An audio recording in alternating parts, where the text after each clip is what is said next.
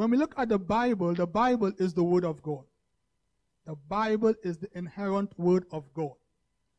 If you understand also that the Bible is the number one selling book of all the religions in the world, the Bible is the number one selling book. And it's a privilege to be a part of this feat, to have a book that is number one selling. And I want you to understand when you think about the Bible, the Bible is our manual, it's our instruction. Folks like to ask that God don't speak to you, but this is one way that God speaks to us through His Word. When we think about the Bible, the Bible is divided into two parts. There is the Old Testament and there is the New Testament. The Old Testament was written in Hebrew and the New Testament was written in Greek. There is 39 book in the Old Testament and 27 book in the New Testament. When you look at the Old Testament, the Old Testament is descriptive. When you look at the New Testament, the New Testament is definitive. The Old Testament is descriptive because it's describing a series of events. If you pay attention to the Old Testament, it's describing a series of events. That's why Ezekiel said it's a wheel in the middle of a wheel. It's like a cycle of events that's happening in the Old Testament. Israel failed God. They fell into captive to the enemy. God raised up a deliverer to bring them out, and the cycle continued. That's why Solomon said there is nothing new under the sun. Because everything that's happened in the Old Testament you could have identified with it. It keeps going on and on. But when you look at the New Testament, the New Testament is definitive. It's defining words rather. Because men will say the Bible contradicts itself, but that's not the truth. The Bible don't contradict itself. Men interpretation of the Bible contradict the Bible. Because when you look at the New Testament, the New Testament says, for example, John 3.16 says, For God so loved the world that he gave his only begotten Son, that whosoever believeth in him should not perish but have everlasting life. World in that context here is referring to mankind. But when we go to the letter or the epistle of John, it says, Love not the world, neither the things that are in the world. For he that loveth the world, the love of the Father is not in him. World in this context here is referring to a world system. If you don't understand it, if you don't interpret it properly, you might think it's contradicting itself. For example, in the Gospels, Jesus said, Behold, I give unto you power over all the powers of the enemy, and nothing shall by any means hurt you. Power in this context is referring to exousia. It's referring to authority that you exercise. And when you look in the book of Acts, he said, You shall receive power after the Holy Ghost comes upon you. Power in this context is dunamis. It's dynamite power, explosive power, miraculous power. Bless the name of the Lord. So the Old Testament is descriptive and the New Testament is definitive. So when we look at the New Testament, we're going to look at the four Gospels that bear record of Jesus' ministry. We're going to look at the four Gospels and we're going to start with the Gospel of Matthew. The Gospel of Matthew is he, the author is a tax collector. And the author now is writing to a Jewish audience uh, to convince them that Jesus is the King of the Jews the promised Messiah in the Old Testament. It's interesting that some of the hardest people to convince is religious people. This is what the author was trying to do. He was trying to convince them that, listen, Jesus is the King of the Jews. It went so far that when they crucify him and they wrote on his plate the subscription to put on his cross, Pilate wrote the King of the Jews. And one of the Pharisees said, don't put the King of the Jews, put, he said, he is the king of the Jews. But Pilate said, What is written is written. The king of the Jews. But I want you to understand Jesus is not only the king of the Jews, he is a seven way king according to S.M. Lockridge. He's the king of the Jews. He's the king of Israel. He's the king of the ages. He's the king of the heavens. He's the king of glory. He's the king of righteousness. He's the king of kings. Praise the name of the Lord. Clap your hands for Jesus. Uh, could I have a bit of more volume, please, if you don't mind? Excuse me. Could I have a bit of more volume? Thank you. When I begin to shout, you can lower it down. Bless the name of the Lord. So, the gospel of, thank you, the gospel of Matthew, then we're going to come to the gospel of Mark. The gospel of Mark presents Jesus to us as the Son of God. Because when we look at the gospel of Mark, what the, what the author does, he presents Jesus' works more than his words. The author presents Jesus' miracles more than his messages. In other, word, the, in other words, the, the author wants us to know Jesus didn't only talk the talk, he walked the walk. He didn't only talk about miracles, he demonstrated miracles. Jesus didn't only talk about healing, he healed folks. I want you to understand if Jesus say he's going to deliver you, bless the name of the Lord, that means he's going to deliver you. If Jesus say he's going to bless you, that means he's going to bless you. If Jesus say he's going to bring you out, that means he's going to bring you out. Because he's not only lip service. He's not just going to say something and don't mean it. He keeps his promise. So the author presents him as the Son of God as he begins to operate in such power on earth. And he was the Son of God because even the demons cry out, Leave us alone. What have we to do with you, Jesus of Nazareth, thou Son of the Most High God? So in the Gospel of Matthew, he is the King of the Jews. And in the Gospel of Mark, he is the Son of God. Praise the name of the Lord. Clap your hands for Jesus. You guys stay with me. We're going somewhere. In the Gospel of Luke now, the author presents him as the Son of Man. And he wants us to understand that Jesus could identify with what you are going through. He is the Son of Man. He understands uh, the problem that man faces. He understands the problems that man is dealing with. In other words, he is the suffering servant. He could exp- he have experienced all that you have been through. So when you're crying in the night all by yourself, you could talk to Jesus because he understands. When you're dealing with a heartbreak, you could talk to Jesus because he understands. When you're dealing, glory be to God, with being treated unfairly, you could talk to Jesus because he understands. When you're dealing with betrayal, you could talk to Jesus because he understands. When you're dealing, glory be to God, with folks that don't like you, you could talk to Jesus because he understands. The author presents him as the Son of Man. The author in the book of Luke, he traced Jesus' genealogy straight to Adam. So that any historian or biological, anyone that's exploring can realize, listen, Jesus exists in history. In fact, he's the greatest figure that ever lived. Praise the name of the Lord. Clap your hands for Jesus. In the Gospel of John, the Gospel, hallelujah, the author goes deeper. And scholars will say he opened in a great orchestra of symphony. He says, In the beginning was the Word, and the Word was with God, and the Word was God. All things were made by him, and without him was not anything made that was made. The Word was made flesh and dwelt among us, and we beheld his glory. The glory of the only begotten of the Father, full of grace and truth so much grace that we don't deserve it. Sometimes we walk in the house of God and we feel like we deserve certain things. Sometimes we act and we fold our arms and we feel like we deserve certain things. You don't deserve God's grace because grace is the unmerited favor. We like to talk about what we deserve. Let's talk about what we don't deserve. We don't deserve God's grace, but yet He still gives it to us and full of truth because He is God. So in chapter 1 in the book of John, the author presents Jesus as the Word of God. You have to understand now that God has always been speaking to man by His Word. When we look at the Old Testament, we see the law and the prophets. The, the law represents God's Word in written form, and the prophets represents God's Word in spoken form. But now Jesus represents God's Word in personal form. Bless the name of the Lord. Because you have to understand the law and the prophets could not have freed you.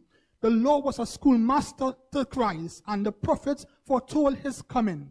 That's why you have to understand the only one that could free you is Jesus. Keeping the law can free you. Even receiving a prophecy can free you. But Jesus could free you. That's why the scripture says that the servant abideth not in the house forever.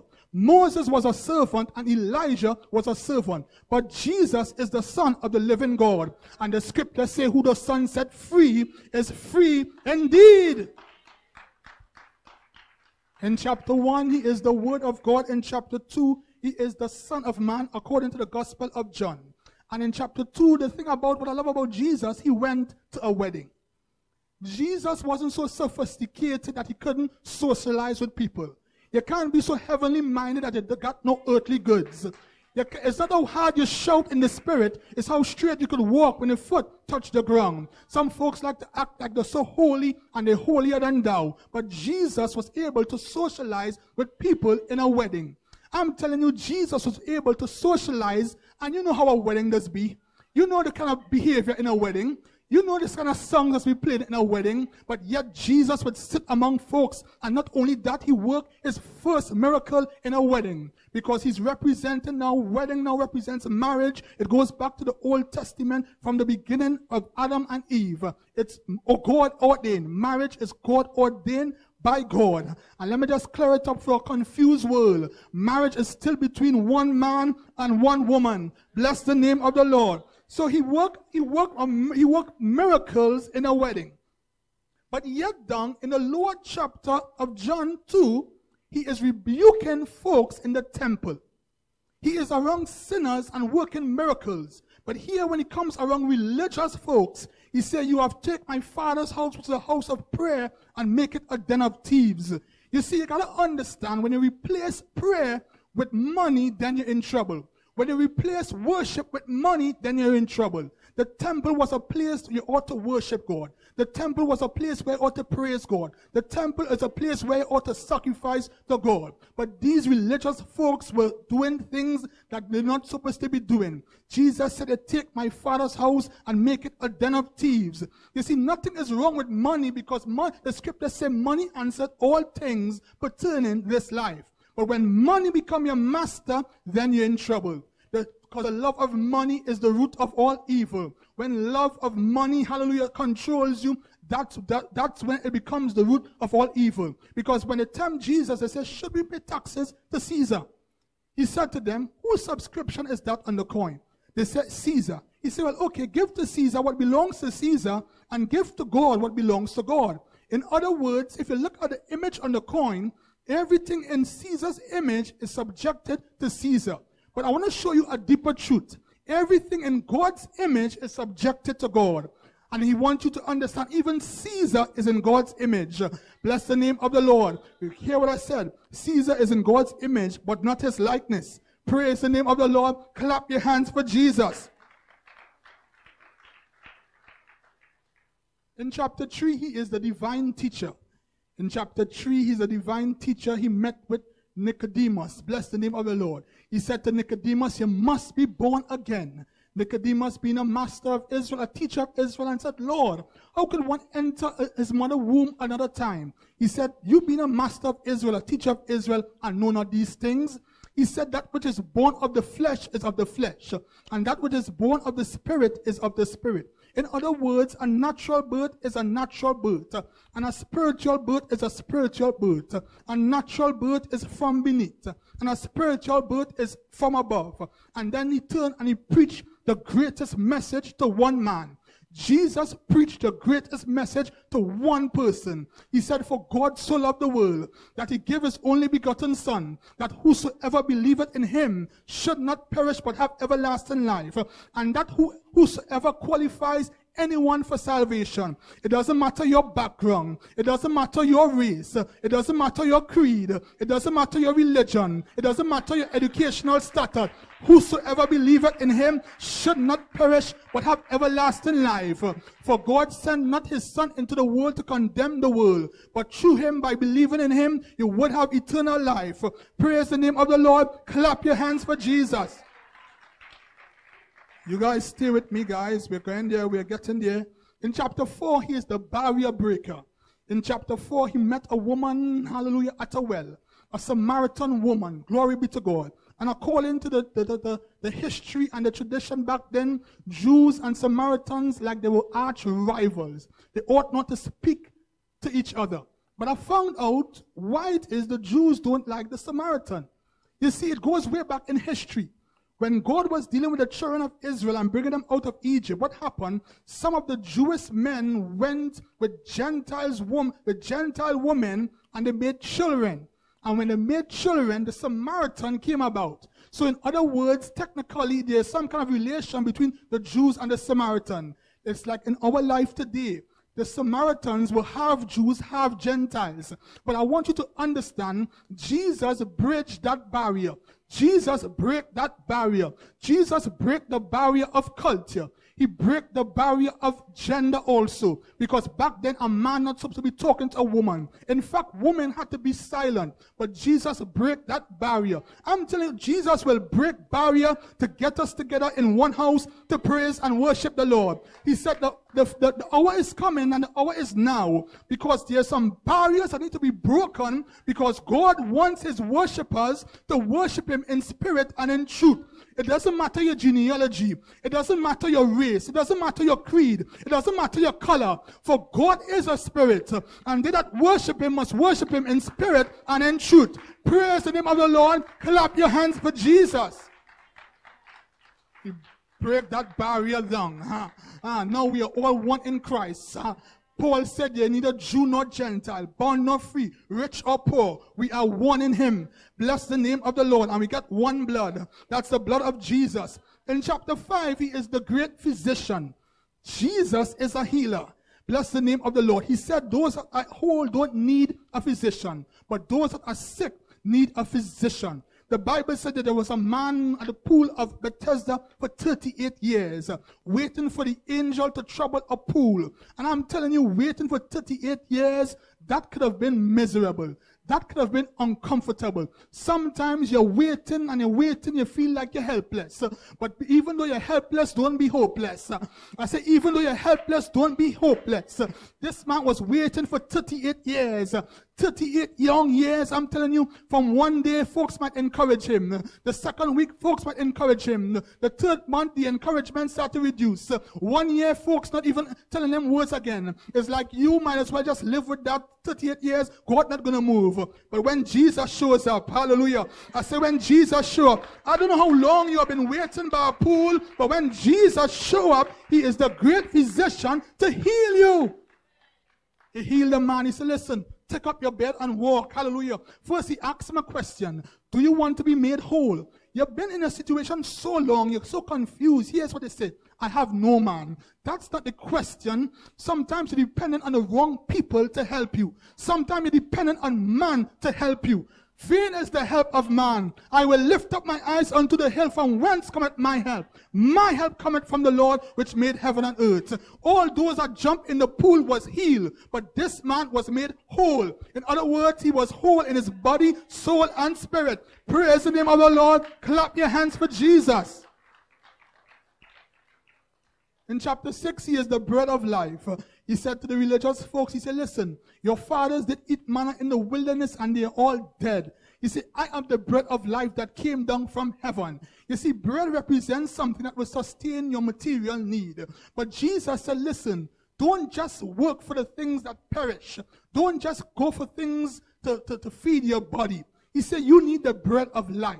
He said, Unless you eat my flesh and drink my blood, you have no life in you. Ah, glory be to God. That's why he said, Give us this day our daily bread. He's not just referring to material need, because man shall not live by bread alone, but by every word that proceeded out of the mouth of God. You need that spiritual bread on a daily basis. You need that spiritual bread to keep you anchored. You need that spiritual bread to keep your foundation strong. You need that spiritual bread, hallelujah, for you to stand against the storms of life. He said, I am the bread of life. Unless you eat my flesh and drink my blood, you have no life in you. It doesn't matter what bread you have been eating. Uh, what's the name of the bread up here? Warburton. Hallelujah. Uh, what's the name of the bread? Kingsmill. Those bread can sustain you. But the bread of life can sustain you.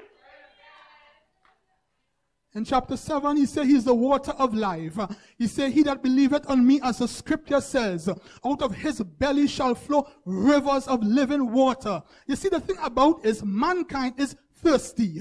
I say mankind is thirsty. But the problem is you're, you're using a, you, the wrong thing to quench your thirst. Uh, I want to let you know, glory be to God, social media can't quench your thirst. Uh, money can't quench your thirst. Uh, fame and fortune can't quench your thirst. the cigarette can't quench your thirst.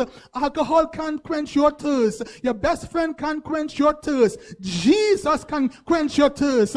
he that believeth on me, as the scripture has said, out of his belly shall flow rivers of living water. I don't know who you believe and who you going to, to quench your thirst, but come to the fountain of life and drink. For the scripture says, He that hunger and thirst after righteousness shall be filled. In chapter 8, he's the defender of the weak. I love Jesus. This is one of my favorite parts when I was reading my word. I love chapter 8. He's a defender of the weak.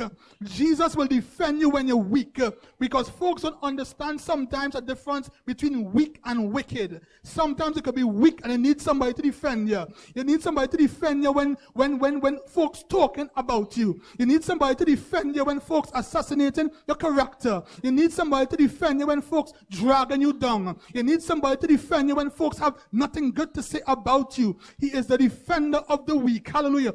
The thing about it is that these religious folks, they brought unto Jesus a woman that was caught in the act of adultery. And when they brought the woman, they said, according to the law of Moses, she ought to be stoned. The thing about it, what I love about Jesus, he always rebuked the religious folks, but the sinners, he dealt with them gentle. Because anytime you come to Jesus proud, he will call you out. But anytime you come humble, he will treat you gentle. Don't you know the scripture say he resist the proud, but he give more grace to the humble? I'm telling you, I'm these kind of things that Jesus said the religious folks. He said, Look, oh hypocrites, generation of vipers, who have warned you for the judgment to come. For you honor me with your lips, but your heart is far from me. You have shut up the kingdom of God, and you yourself can't even enter. He said, Look at you. He said, Look at you. He said, Jonah Jonah's generation repent at the message of Jonah, what he preached, and greater than Jonah is here. He said the queen of Sheba come all the way to hear the wisdom of Solomon, and the people repented, and greater than Solomon is here. You wouldn't repent. You have made the commandment of God of no effect to your vain tradition. He would always rebuke them. He said, open sepulchre full of dead man bones, generation of viper, no sign shall be given unto you but the sign of Jonah the prophet. Jesus always called them out. When you're religious, Jesus will call you out. But when you're humble, he will, he will raise you up.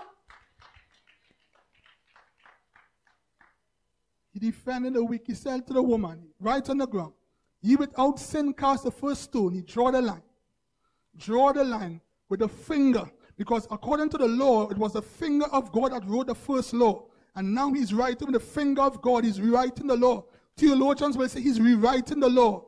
In other words, he's writing and tracing the words because it's the finger of God that wrote the first law. Moses wrote the second law, and now he's writing the law on the ground. Ye without sin cast the first stone. None of them could have accused the woman. He said, Where's that accuser? Go and sin no more. What he dealt with there, he dealt showed righteous judgment. He showed the woman mercy, but yet it was justice.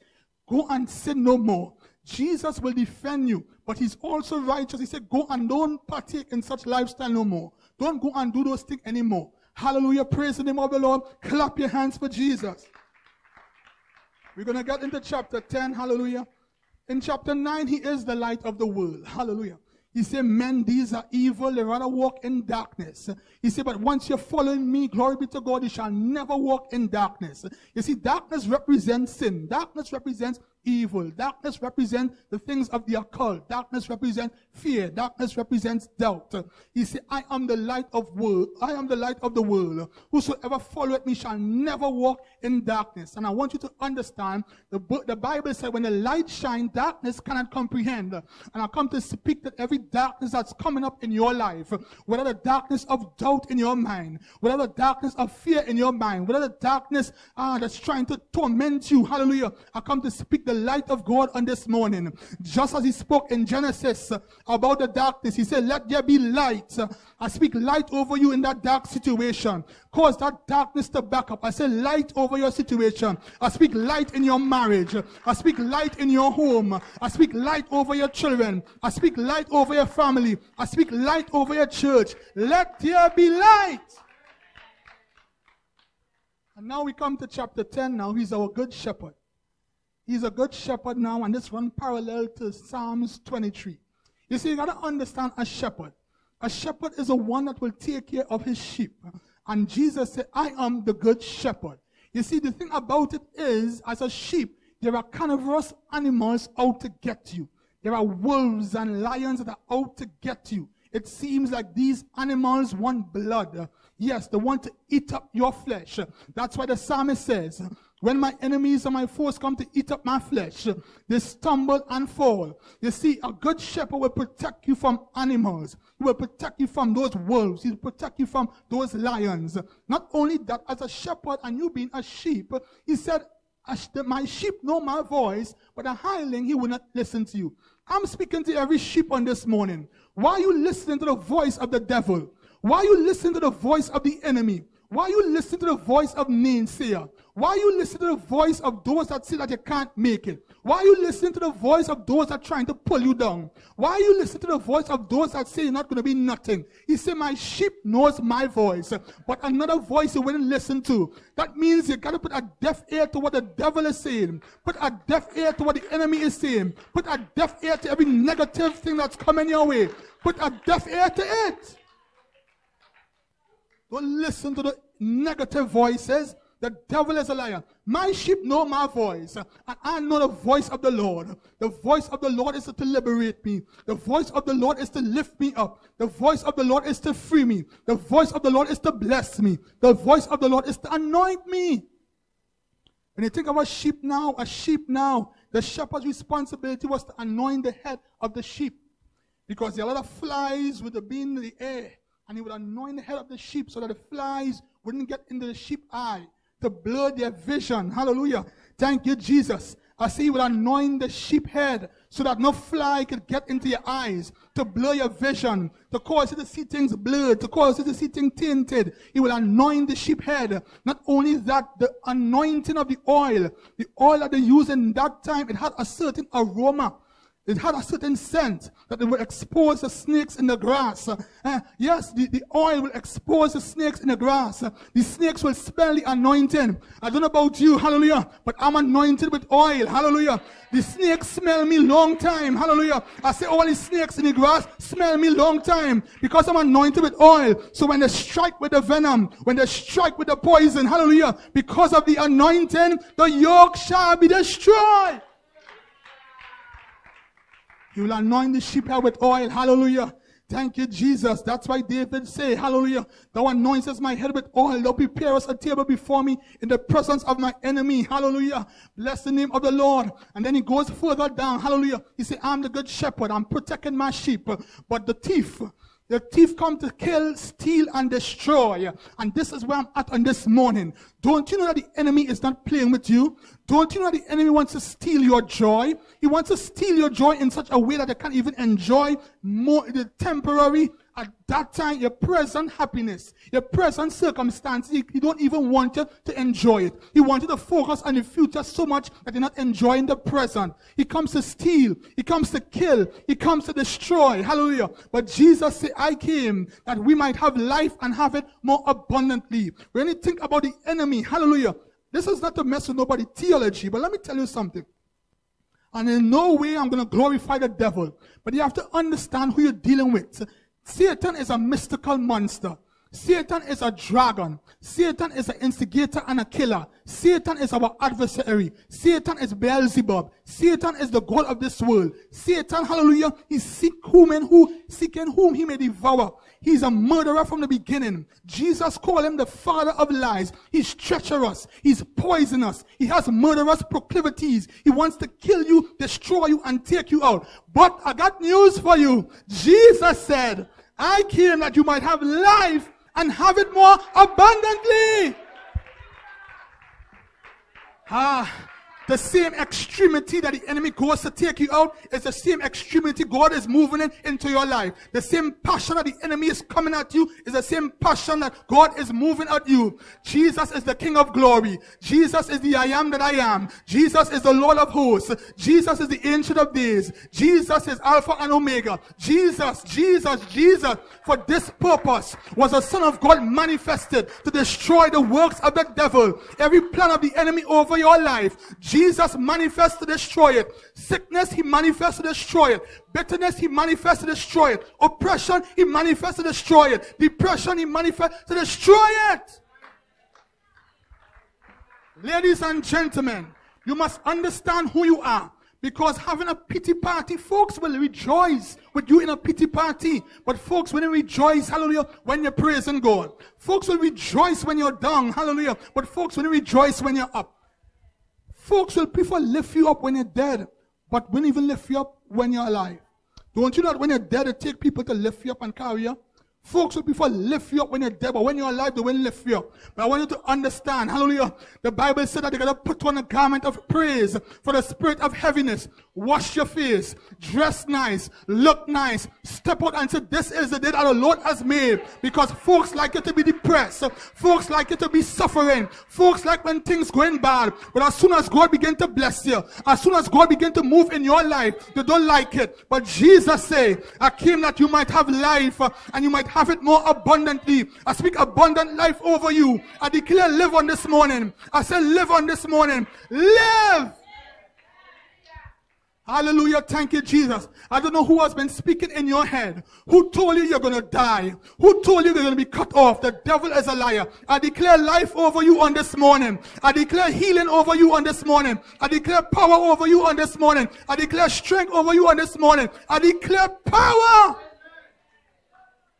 Hallelujah. Thank you, Jesus. He said, I came that you might have life and you might have it more abundantly. Satan wants to steal your joy. He wants you to be miserable. He wants you to always be mourning. But I got news for you. God came that you might have life. And in my closing, I want you to understand the scripture says, the earth is the Lord's and the fullness thereof, the world and they that dwell therein. For he had founded it upon the seas and he has established it upon the flood. Who shall stand in his holy place?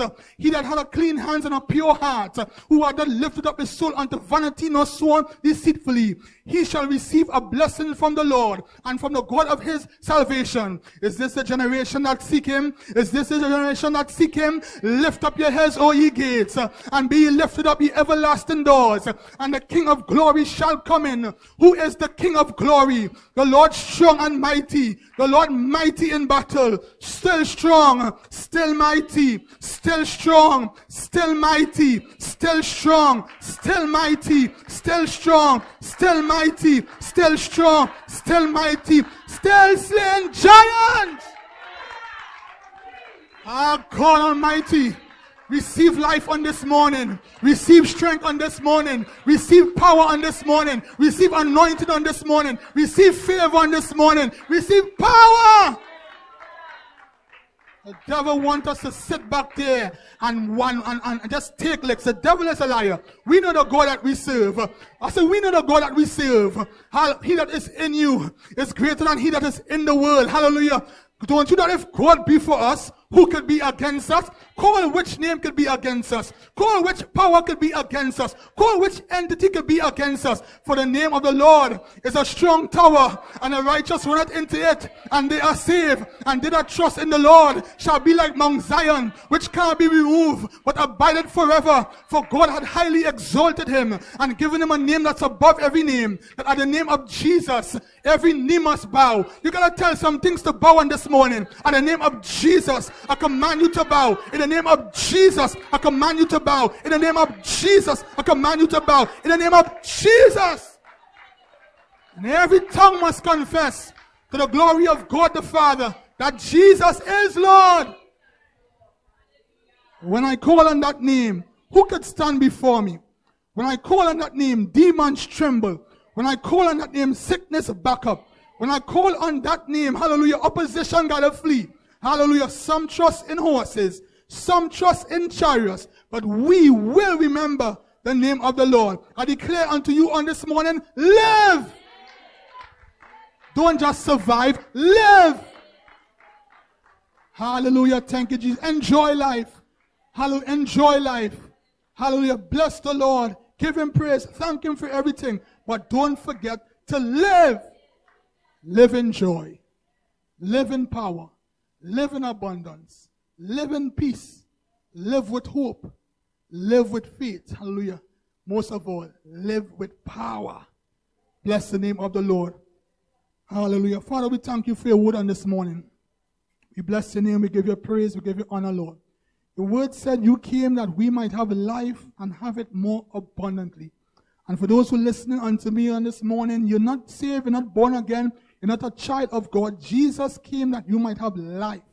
And this life is eternal life. Hallelujah. This life is eternal life. For who the Son set free is free indeed. If you're not a child of God, if you're not born again, Jesus came that you might have life. But you must first accept Him as your Lord and Savior. So if you're listening to me right now, I want you just to repeat this prayer after me. Hallelujah. Thank you, Jesus. The scriptures say, with the heart man believe unto righteousness, with the mouth confession is made unto salvation. If you confess with your mouth and believe in your heart that God raised Jesus from the dead, thou shalt be saved. That's simple. So I just wanted to repeat this prayer after me. Say, Lord Jesus, I've heard your word and I realize I'm a sinner, lost and undone, Lord. But Lord, I'm asking you, Lord, to come into my life, Lord. I surrender to you. I acknowledge you as Lord and Savior, Lord.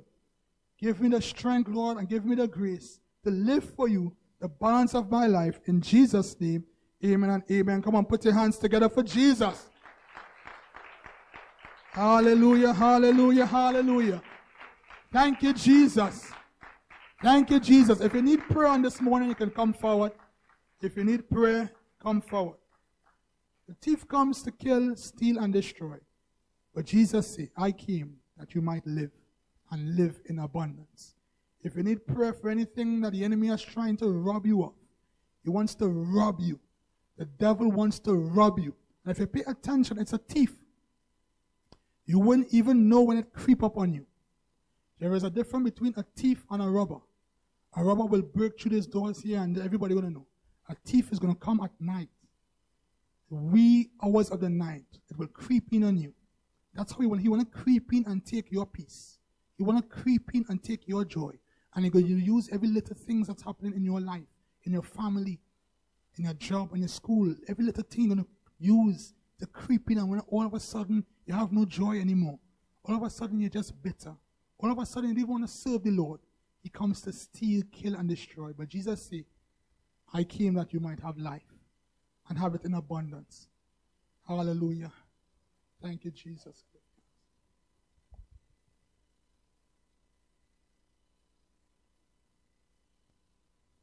Hallelujah. Come on, worshipers. Could you help me? Hallelujah.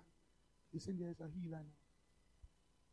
Hallelujah. Thank you, Jesus. You guys stretch your There's hands. a healer in the house. We are believing God for the supernatural. There's a healer. We are trusting and we are believing God for the supernatural.